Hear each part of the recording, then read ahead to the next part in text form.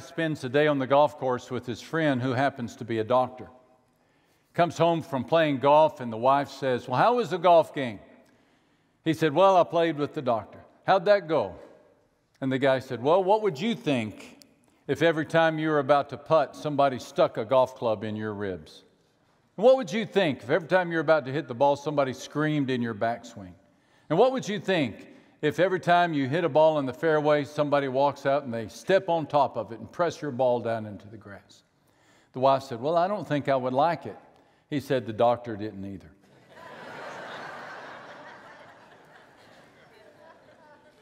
you didn't like that joke, did you? It's not the best. It's not the best. But it does remind us that some people are not the easiest to get along with. We're looking at the story of a Bible character by the name of Jacob. Of Jacob. He's an Old Testament, what's called a patriarch, one of the Mount Rushmore figures in the Old Testament. And the reason we love the story of Jacob is not so much for his success, but because of his struggles. And every time a person reads the story of Jacob, they think, wow, if God could use somebody like that, he perhaps could use someone like me. So, installment chapter two on the story of Jacob is entitled Jacob versus Shortcuts. Let's pray, and then we'll get to work. Gracious Heavenly Father, oh, so full of goodness, so full of mercy. Please look with grace upon this weary and wounded world so ravaged by a pandemic, so divided by hostility. And look with kindness upon our own lives. Have mercy, Heavenly Father, upon those of us who call ourselves your children but often behave like we're not.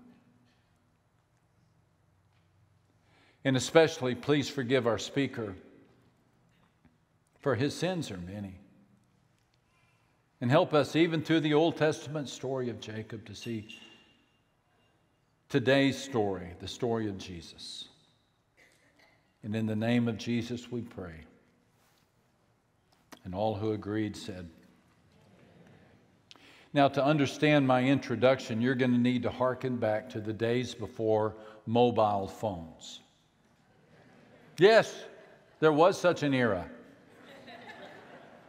in times past, not quite so distant as the days of Noah, and not quite so recent as today's headlines, there was a segment of history known as the days of the landline.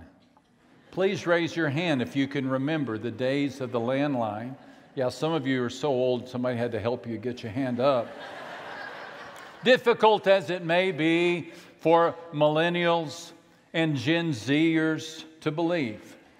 Phones were not always mobile, they were not. They did not always fit into pockets, they did not always fit into purses. Phones were not wireless, phones were not smart. There was a day in which phones were attached to cables that attached to walls, that attached to telephone lines. It's true. Ask your parents. In those days, we walked to school each day in blinding snowstorms. With no jackets to warm us, GPS to guide us, or apps to entertain us. Those were dark, dark days. we had no cell phones.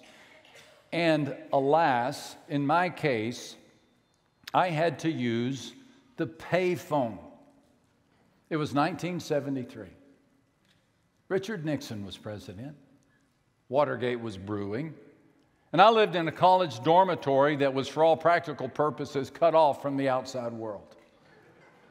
We were only allowed to make local calls from that telephone, that landline in our college dorm room. So, in order to speak to someone in another city, we had to use this antique tool called the payphone. Payphone. Underline the word pay. Yes, we had to pay to use the phone. And this would not have been a problem except for the fact that I had a crush on a sweet young lady who lived six hours away. In order for me to talk to her, I had to pay money. I know you're looking at me, your eyes are widening to the size of quarters, and that's what I needed quarters, quarters, quarters. Many quarters. I had very little money, but I had an idea. And this idea is the reason that I, I share this story. I could charge the cost of that call to someone else. Yes, the, the, the phone company allowed it. But to whom did I charge the phone calls? To my parents? Oh, no. Uh, to, to the girl who lived six hours away, she was every bit as broke as I was. No, I charged the long distance calls to a vacuum cleaner store.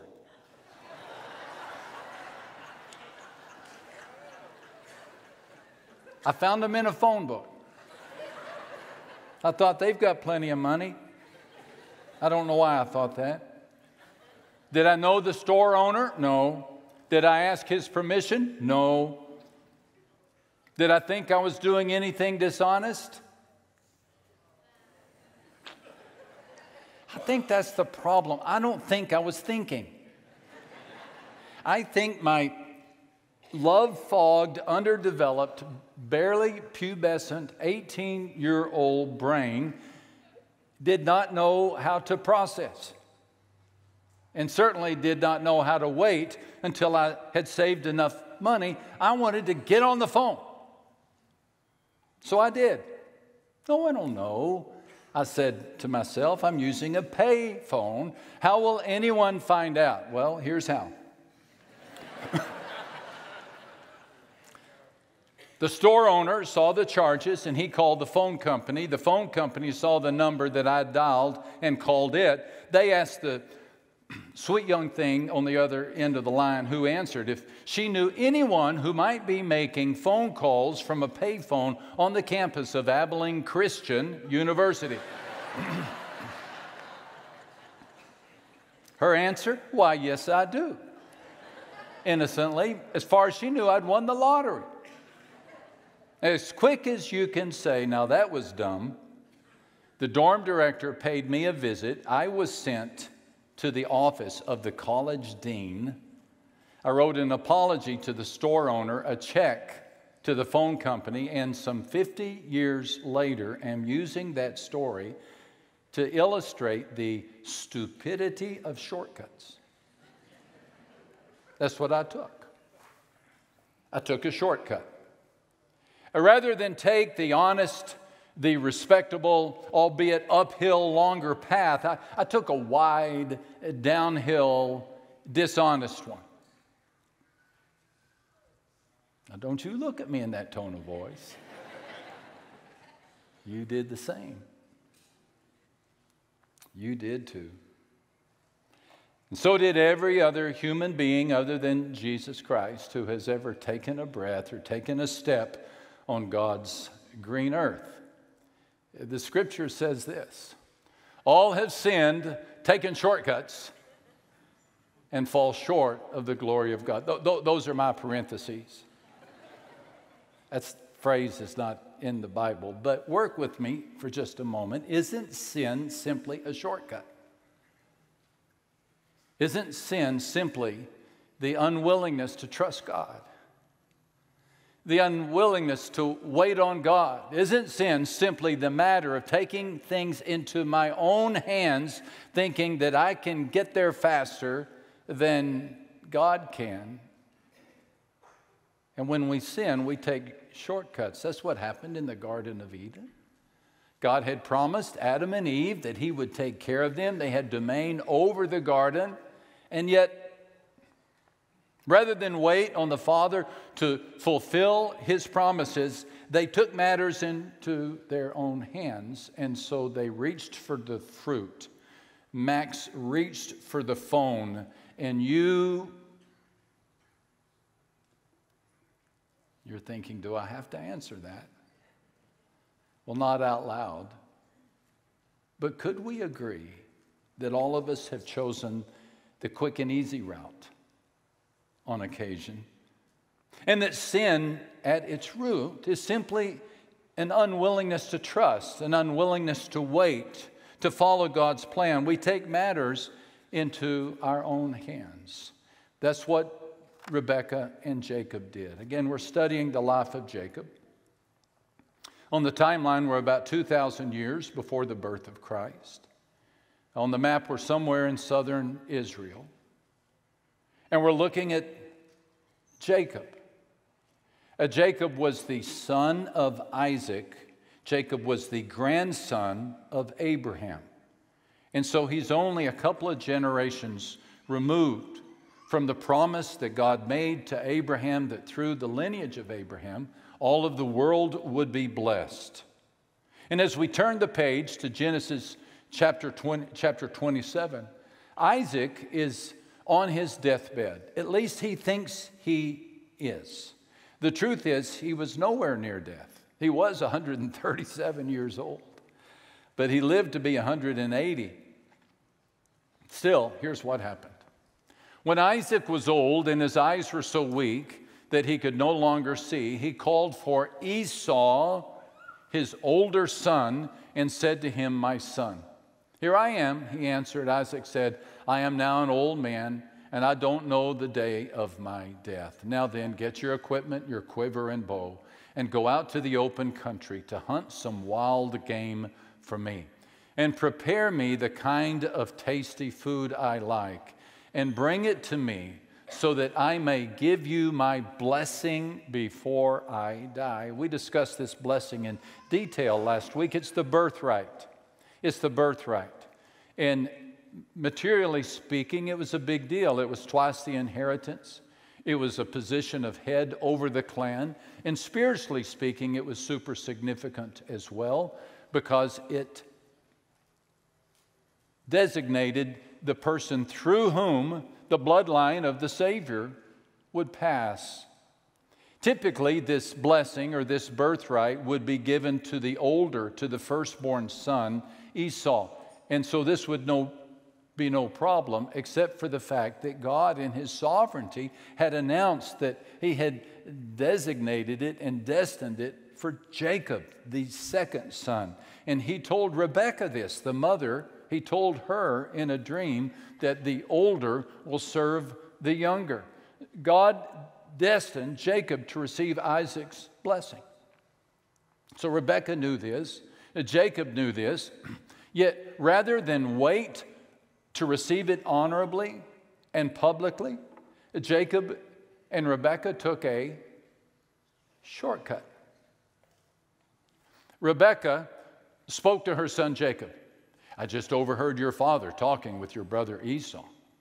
He said, Bring me some game and fix me a hearty meal so that I can eat and bless you with God's blessing before I die. Now, my son, listen to me. Do what I tell you. Go to the flock and get me two young goats. Pick the best. I'll prepare them into a hearty meal, the kind that your father loves. Then you'll take it to your father, and he'll eat it and bless you before he dies. Jacob was nervous. When you read this text on your own, you'll see that he pushed back initially, saying something like, Well, even a cataract eyed old man can tell us apart. So Rebekah promised to take the blame. So Esau was hunting, and Rebekah and Jacob took time to cook a lamb and then cut a goat skin. Jacob put the goat skin on over his shoulders and he entered his father's tent. Jacob said to him, I am Esau. No, he wasn't. He was Jacob, but he said to his father, I'm Esau, your first son. I have done what you told me. Now sit up and eat some meat of the animal that I have hunted for you, and then bless me. Jacob wanted the blessing. Rebekah wanted Jacob to have the blessing. But what neither of the two were willing to do was wait on God to orchestrate the presentation of the blessing. So they tricked Isaac, and Isaac fell for the trick. Then his father Isaac said to him, Come here, my son, and kiss me. So he went to him and kissed him. When Isaac caught smell of his clothes, he blessed him, and he said, Oh, the smell of my son is like the smell of a field that the Lord has blessed. May God give you heaven's dew and earth's riches and abundance of grain and new wine. May nations serve you and peoples bow down to you. Be Lord over your brothers, and may the sons of your mother bow down to you. After Isaac finished blessing him, and Jacob had scarcely left his father's presence, his brother Esau came in from hunting. Esau entered the tent expecting to receive the endowment, but the blessing had been given. And when Esau heard his father's words, he burst out with a loud and bitter cry Bless me, bless me too, my father. But Isaac said, Your brother came deceitfully and took your blessing. Have you only one blessing, my father? Bless me also. Bless me, my father. Now, you and I see an immediate solution to this crisis, don't we? Grab deceitful Jacob by the nape of the neck and drag him back into the tent where Isaac can unbless him and rightly bless Esau. But as odd as it may sound to our Western ears, the culture simply did not permit that. Once a blessing had been given, it could not be retracted. A blessing had a built in binding element, it was irreversible, it was irrevocable. Isaac could still give Esau a secondary blessing, but Jacob had already cashed the check. As you might imagine, this did not help the relationship between Jacob and Esau. The relationship between the twins crashed like a lawn chair in a tornado. So Esau hated Jacob. And Jacob said in his heart, I will kill my brother Jacob.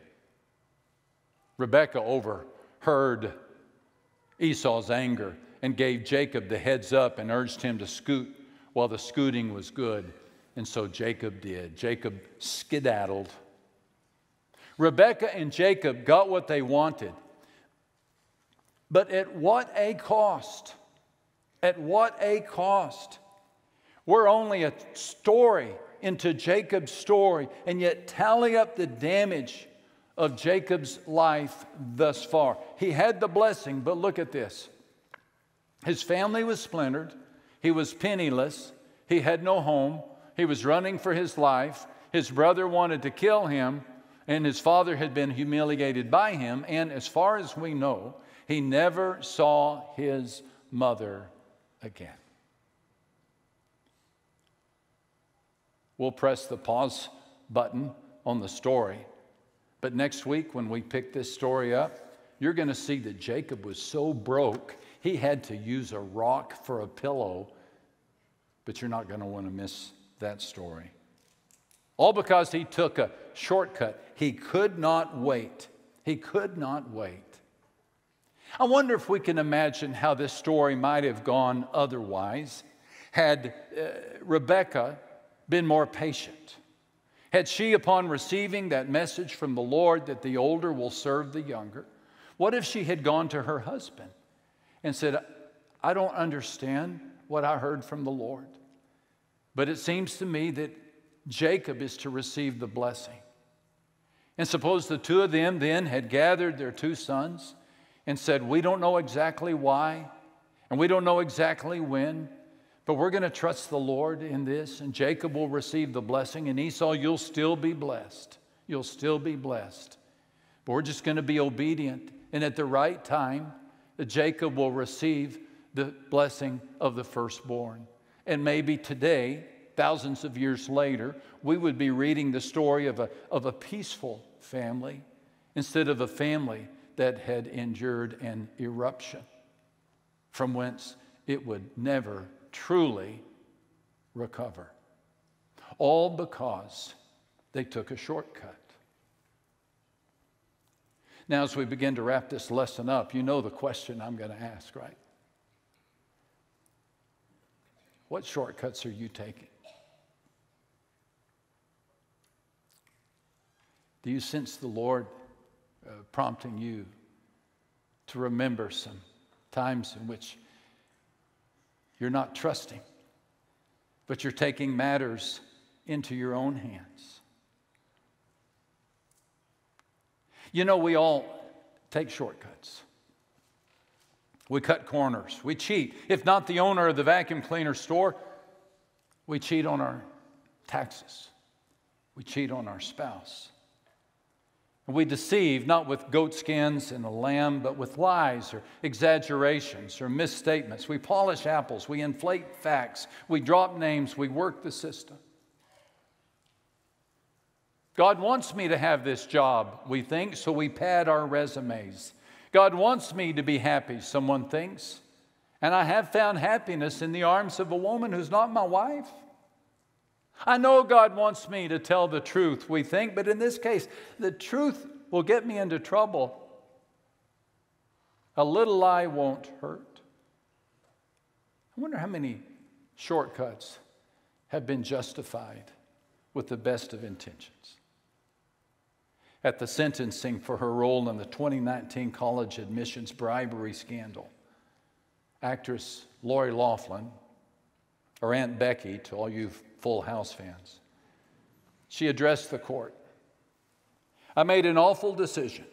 I went along with a plan to give my daughters an unfair advantage in the college admissions process. In doing so, I ignored my intuition and I allowed myself, look at this, to be swayed from my moral compass.